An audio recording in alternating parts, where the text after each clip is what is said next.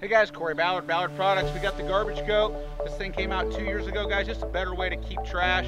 You can open it up. It's got a drain plug in the bottom. It's got the top right here so you can put trash in and it's not flying back out when you're running down the interstate or highway or wherever. Just a great way to put trash when you're out on job sites. We added an extra set of magnets on the bottom. So it's got four magnets, which gives you a lot of different places to mount this down on your machine, whether it's on the deck, the side deck. The stand-ons are a little more complicated. On this one, I can hook it over that top loop.